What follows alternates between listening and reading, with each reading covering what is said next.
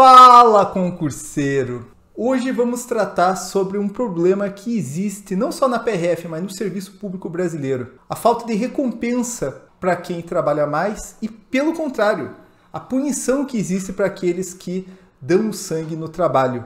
Vamos tratar de um tema polêmico hoje.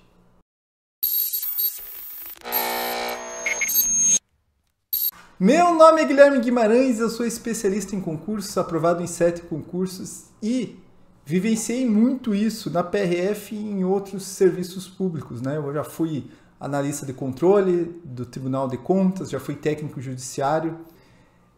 E qual a realidade que eu quero falar? A realidade que eu coloquei no vídeo aqui. Quem trabalha mais se ferra mais. Essa é a realidade geral do serviço público. Claro, não quero generalizar, talvez tenha um órgão que tem um, um, pensamento mais meritocrático, né? Então, ó, aquela pessoa que trabalha mais ganha um, um adicional é, por produtividade ou a cada processo que faz, aí a depender do tipo de trabalho. Mas a realidade no serviço público é essa daí. Mas antes de eu falar um pouco sobre esse assunto, deixa a tua curtida, se inscreve no canal se você não é inscrito ainda e acompanha essa playlist, né? O que só um ex-PRF pode falar que são vídeos que eu trato de temas polêmicos, que certamente eu não falaria isso se eu tivesse na Polícia Rodoviária Federal, né? Por falar que as pessoas que produzem não, não, não são recompensadas, pegaria muito mal se eu tivesse dentro da instituição.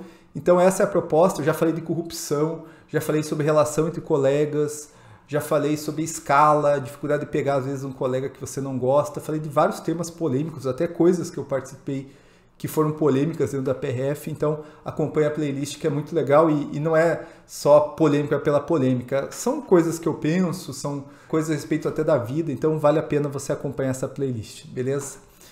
Então, essa é a realidade, né? Quem trabalha mais se ferra mais, isso em geral no serviço público. E por que que isso acontece?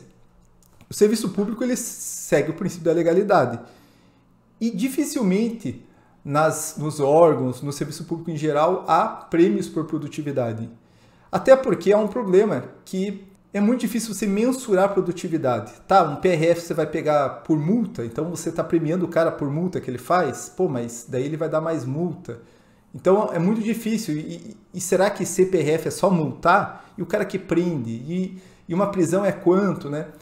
Na, na, iniciativa privada é muito claro, o objetivo lá é o lucro quem está vendendo, o comerciante que está vendendo, a pessoa que está fazendo acontecer, a pessoa que está criando projetos, que está ganhando dinheiro para a empresa, essa pessoa ela, ela vai ganhar mais e, e, vai subir também na carreira, né? já que não é algo tão, tão instante como é no serviço público.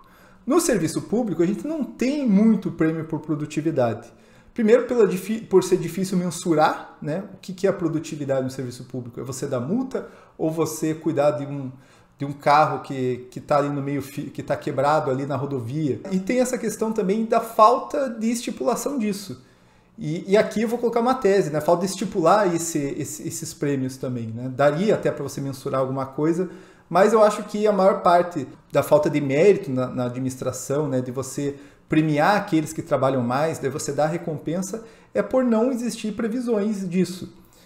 E aqui eu vou colocar uma tese minha, o que eu acho que acontece é que na administração pública, a maior parte dos aumentos de remuneração é por pressão, por pressão sindical, por pressão dos grupos, ou o governo quer agradar uma categoria. Dificilmente os aumentos se dão né, por, não, vamos dar aqui uma, uma, um adicional por produtividade. É muito difícil acontecer, até acontece, mas é muito pontual. Então as carreiras acaba que todo mundo ganha quase ganha a mesma coisa, a pessoa que trabalha muito e a pessoa que trabalha muito pouco. E na realidade o que acontece é que quem trabalha mais se ferra mais, como é o nome desse vídeo. Por quê? Pô, se você está prendendo alguém, você vai ter que passar a noite às vezes lá na delegacia e às vezes vai deixar o, o, o teu trecho aberto e daí às vezes vai dar problema no trecho, daí você vai ter que voltar a resolver. Se você está aprendendo alguém, você pode ter problema também, porque você vai ser chamado para depois na tua folga por uma audiência. Se você está participando mais de, de, de, acompanhamento tático, que é o nome de perseguição, é bom que se diga, você pode bater a viatura e daí depois vai ter que responder PAD. Você pode, às vezes, ter problemas junto com a chefia porque fez isso, fez aquilo, você está mais exposto e como uma pessoa mais exposta, você vai ter mais problema. Essa é a realidade. E isso faz muita gente desanimar do serviço. É, eu até, até acompanhei a história de um PRF que ele era um cara assim que diz que ele era o que mais trabalhava, que o cara virava à noite na delegacia fazendo, acontecendo, que o cara era um PRF exemplar. Até um dia que ele foi fazer uma operação em outro estado, chefiando a operação de um grupo lá, não vou citar o grupo para não ficar claro quem é a pessoa, e teve um problema grande na equipe, a equipe queria voltar, ele queria continuar, e o cara assim criou um problema na equipe e, claro, não foi só por causa disso, né? Foi, não foi só por falta de, de recompensar o trabalho dele, mas a pessoa se desilude, fala, pô, eu me mato pela instituição e quando tem um problema eu não tenho nenhum, nenhuma recompensa e a pessoa repensa muito, muita gente cai nisso com o tempo. A pessoa pega e, fica, pô, eu não vou ficar me expondo, né? Claro que há, que há situações como essa, que a pessoa trabalhava muito, a pessoa dava o sangue, e há situações de gente que eu, eu conheci PRF que o cara não gostava de fazer abordagem, ele evitava fazer abordagem porque ele falava, pô, eu tenho abordagem, eu tenho problema. Uma vez eu abordei, contava que ele abordou uma mulher grávida e a mulher. Então a pessoa fica, pô, eu não vou criar problema para mim, então a pessoa faz o feijão com arroz. Isso acontece muito, a pessoa ao invés de se expor, de ficar às vezes num trecho que é perigoso, ele vai fazer a fiscalização num lugar mais tranquilo ali, que não dê muito problema, uma multinha leve ali. Então acontece muito isso daí por parte de alguns servidores. Né?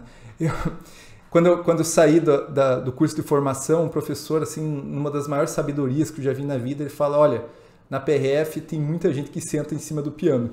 Não seja essa pessoa, pelo menos não fique em cima do piano, né? Que é essa pessoa que acaba se acomodando por causa dessas situações. Ela fala, ah, não vou ganhar nada. E claro que você ganha alguma coisa, né? Você ganha, primeiro, uma questão social, né? De você falar, pô, tô fazendo o meu trabalho. Então, isso para mim já é muita coisa.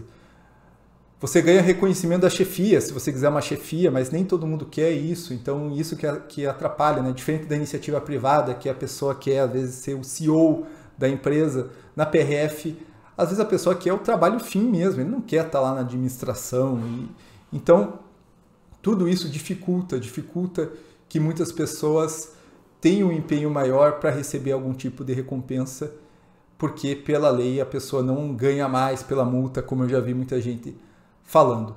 Então essa é a realidade da PRF e é a realidade de outros órgãos também. Eu já vi muito, muitos outros lugares, muitos servidores públicos, a pessoa que trabalha mais, que faz mais processo, que ele vai ter mais problema, porque vai voltar mais recurso, vai dar mais problema, é advogado que não gostou do que ele fez e, e essa é a realidade do, do concurso. Qual que é a solução para isso?